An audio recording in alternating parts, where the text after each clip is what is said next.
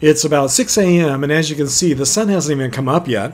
But I'm here at the Morongo Casino gas station, which is about 15 minutes west of Palm Springs. And I thought I'd better fill up my tank before I get back on the freeway and head to the cemetery I'm visiting today. It's about an hour and a half drive from here, and a full tank will definitely get me there and back. Over the years, since I started my graveyard channel, I know I've been to the cemetery at least three or four times. But I didn't know until just this week that the person I'm hoping to find and visit today was laid to rest here. Some of you may recognize this as the cemetery where singer Karen Carpenter was originally laid to rest before she was moved a number of years later to her current final resting place, which is in Westlake Village Memorial Park in Westlake, California. And the last time I was here, I checked, and her original crypt was still unoccupied.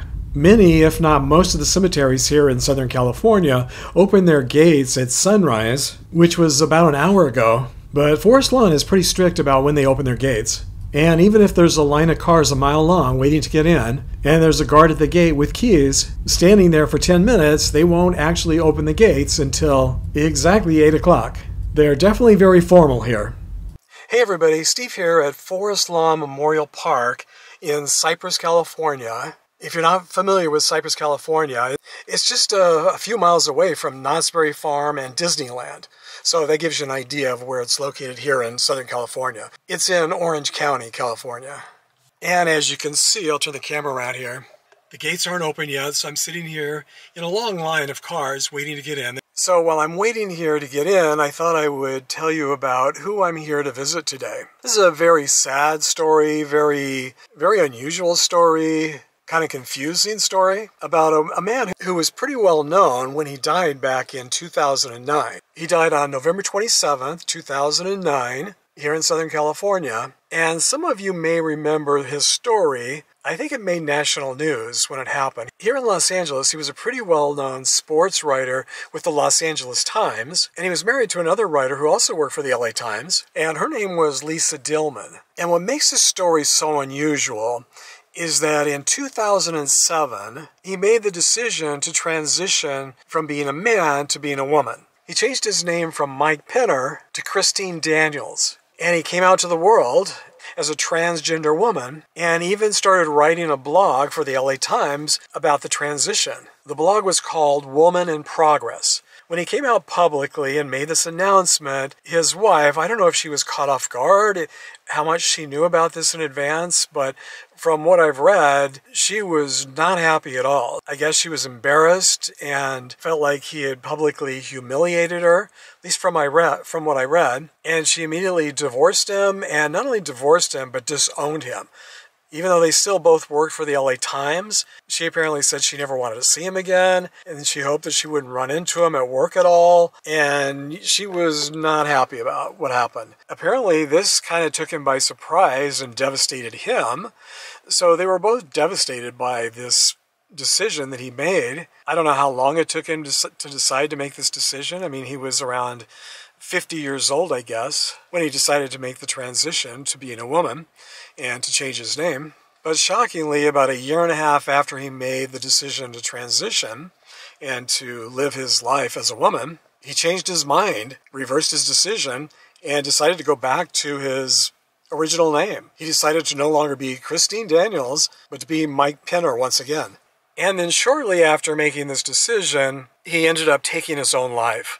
He died from carbon monoxide poisoning I wasn't able to find any information about exactly what happened, but I'm assuming he was probably in his car, maybe in the garage. That seems to be fairly common when that happens, when someone decides to end their life that way. And sounds like an awful way to go. He was 52 years old at the time. He died on November 27th, 2009 in Culver City at the age of 52. So I'm not sure how he ended up down here in Orange County in the city of Cypress well, now that I think about it, I, when I was looking at his Find a Grave memorial page, I think he is buried next to his parents.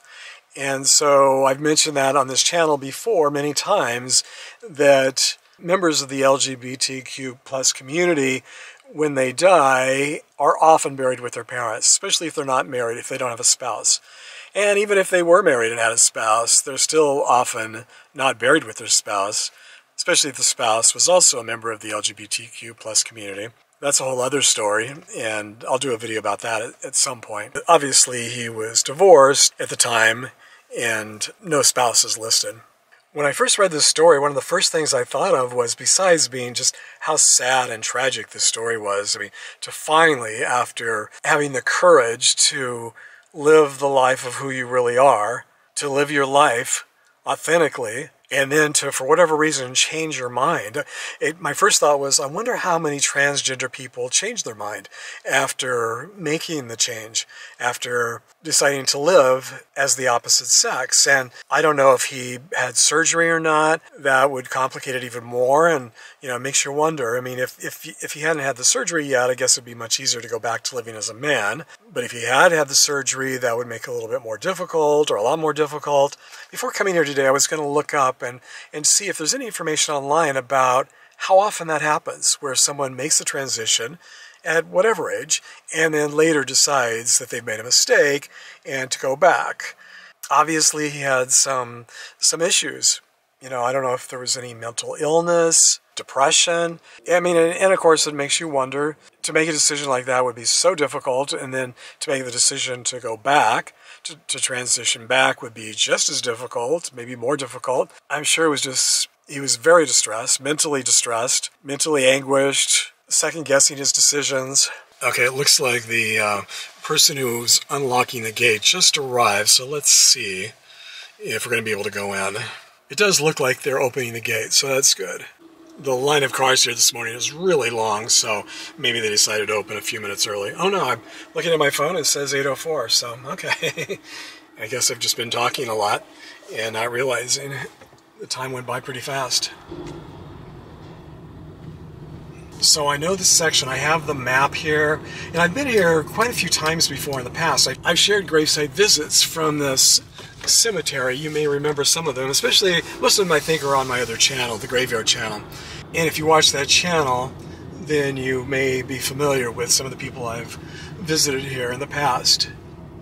It's surprising for being in Orange County, not Los Angeles County or Hollywood, how many famous people are laid to rest here. So the map that I have indicates that he's laid to rest over here in the sheltering, I think it was sheltering pines, sheltering trees section. And I've actually been to that section before and visited a couple of grave sites in that section, not knowing that he was laid to rest here at the time. That happens actually a lot. So it's this section over here sheltering trees you can see on the curb there. But it's a huge section, and it's a, the his Find a Grave memorial page says it's lot 12 or plot 12. So let's go here, which is about halfway up on this street here. Now, this is assuming that the information on Find a Grave is correct, which most of the time it is, but not always. So you never know for sure. And so when it starts curving, according to the map, when it starts curving over this way, that he's supposed to be somewhere in the middle there. And so I'm going to park right here and we'll just see if I can go find him now. The temperature says it's 53 degrees. I've got my shorts on. I had my longer pants on this morning, but I stopped for gas, and it was so warm. I was just so warm I couldn't take wearing my long pants, so I switched. But it is, as you can see, it's sunny and beautiful out, so I don't think it'll be too bad. We'll see. I'm using the Find a Grave Memorial Page app on my phone, but unfortunately, there's no GPS to click and guide me to the gravesite. So if other people have been here before, they haven't added that to his memorial page. Once you find the gravesite, you add the GPS by standing at the gravesite and you click the Add GPS button, and then it just automatically adds a GPS to the memorial page which makes it easier for people to find in the future if they're using the app. Fortunately, the cemetery does have these little cement markers which indicate the lot numbers, which is really helpful. When I said earlier that this was so sad, this story was so sad, I think what I meant was, I mean, it's sad on so many different levels. On one level, it's sad because when you think about transgender people right now in our society here in the US. There's so much hatred and so much discrimination, and politicians are just stirring up so much hatred on a daily basis toward transgender people that it's got to be terrifying to be a transgender person right now in America, anywhere in the world, but even here in the US, which is just completely so sad. But to make it even sadder, then knowing that so many people in the world hate you and want you dead and are doing everything they can to cause harm to you, then to be someone who is actually able to transition and to accept himself or herself and then for whatever reason to take his own life. I mean, I think I've mentioned on this channel before just how many transgender people are murdered each year. They're, they're, it's just unbelievable. Hundreds and hundreds in this country are murdered each year. So for me, it just makes it even sadder knowing that not only do you have to deal with people who want to kill you, but then you have to deal with your own depression or mental anguish, whatever would cause you then to want to take your own life. That's just a, a double tragedy, I think. And it's possible that one of the reasons that he was in so much pain that would drive him to take his own life was maybe because of all the discrimination and the hatred generated toward transgender people these days. According to this online report that I just Googled, 81% of trans adults in the US have thought about taking their own lives, and 42% have attempted it. And both of those percentages are shockingly high. But given the extremely hostile religious and especially political climate, it probably shouldn't come as a big surprise to anybody. And it's just as bad or worse all over the world. I'm glad I was able to find his gravesite, and I just added a GPS to his Find a Grave Memorial page, so it'll be much easier if anyone else is coming to visit in the future. Although this was pretty easy to find whoever put together the information directions on the Find a Grave Memorial page did a great job, so thank you for that. Another indignity that transgender people have to deal with after death is that often they're dead named. That's a phrase that means if you've transitioned, let's say from a man to a woman, and you now have a, a female name, that your family or others, after you die, they refuse to bury you with the name and identity that you chose. Instead, they bury you with the name that you were born with, going against your wishes. And you have no choice after you're gone. So that happens a lot. It's called dead naming, where they refuse to acknowledge the name that you chose and the identity that you chose while you were still living. So that's just, you know, the final indignity, and that happens a lot. In this case with Mike, he did transition back to Mike. So apparently, at least at the end, he wanted to be known or remembered as Mike, not as Christine. So that's fine. You know, however you want to be known while you're alive, however you want to be known after death, that should be your decision, not someone else's decision. And it doesn't hurt anyone else if you change your identity, if you change your name. It's nobody else's business, but people are people, and many people make it their business to decide for you how you should live your life and how you should be remembered after you die. But in this case, it seems that he did want to be remembered as Mike instead of Christine, which is fine. Let me know in the comments if you visited his gravesite, what you think of this story, what you think of the journey he went through, and if you know of another transgender person who had a similar experience. Or if you know of a transgender person who's buried somewhere here in California or somewhere around California, maybe Nevada or Arizona, somewhere where I could actually drive. If you have a personal story you'd like to share of someone, a family member or a good friend that you'd like me to visit, if it's possible for me to find them, if you know where they're located and you'd like to let me know, please do. And if I can, I would be happy to visit their gravesite and share their memories, especially if they have a tragic story that needs to be told, that needs to be remembered to possibly help prevent tragic stories like this in the future? Let me know in the comments section.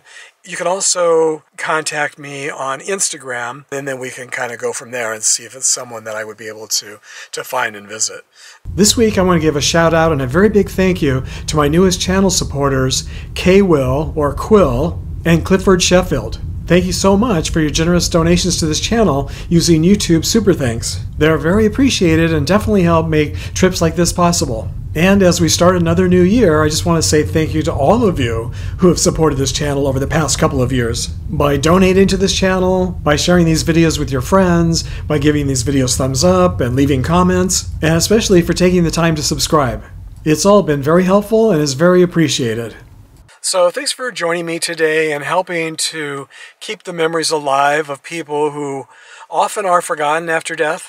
That's one of the reasons I visit these grave sites. They're not often visited. As you can see, his gravesite is one of the few here in this section or in the cemetery that's not decorated, so I don't know if he has anyone to visit him anymore. Some people no longer have family and he was divorced. Until our next trip to the cemetery together, thanks for sharing the memories, everybody.